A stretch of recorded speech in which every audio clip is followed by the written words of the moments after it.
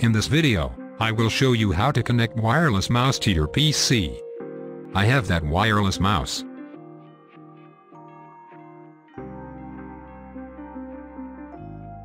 This is the USB receiver. This is the on-off button. This is the invisible optic. Open it.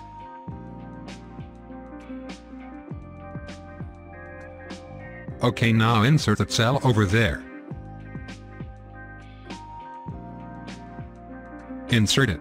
Now it is successfully inserted. After that, close it.